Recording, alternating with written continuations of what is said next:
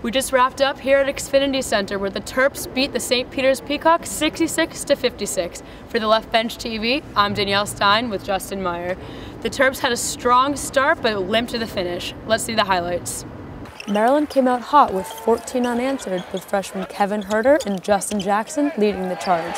The Peacocks finally got on the board with 12 minutes remaining in the first. A beautiful flip from Cekovsky led the Terps to finish 40 to 18 at the half feeling confident going into the second. There was a change in momentum from here on out. The Terps went just 2 of 10 from 3 after halftime after previously going 5 of 8. The Peacocks were able to connect.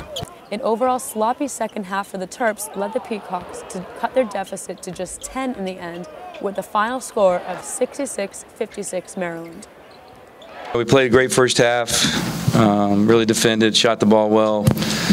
Um, shared the ball, 10 assists on 13 baskets. In the second half, we were exact opposite. We weren't very good. We didn't stay focused. So after the game, Coach Turgeon spoke about how the Terps have been struggling to play a full 40 minutes. So we've only had two good first halves all year, uh, and that was one of them. We haven't played a full, complete game yet, and um, that's that's one thing we need to work on. But we're still a young team. What were the biggest differences between the first and the second half? Well, yesterday, his big message for his team was play harder. And in the first half, his team definitely took that to heart. Uh, five of eight from three. You can tell they were much more focused in the first half than they have been in, in, in other halves and in other games this season. Uh, but that kind of went away in the second half, just two of ten from three in the second half. And, and defensively, you could tell there was a huge difference. I mean, they, they didn't let St. Peter's score until over eight minutes into the game. But in the second half, they were giving up open threes, giving up you know points in the paint and things like that that they weren't giving up in the first half. And, and you could tell there was an effort and focus lapse in the second half. And talk about Melo, he played very different games between the first and the second. What did we observe from that?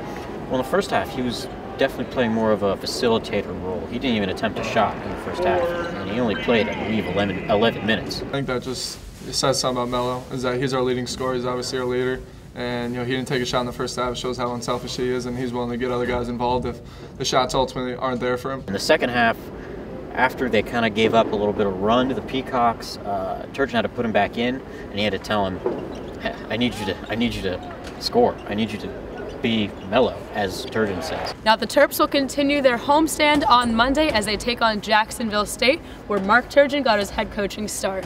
For the Left Bench TV, I'm Danielle Stein with Justin Meyer.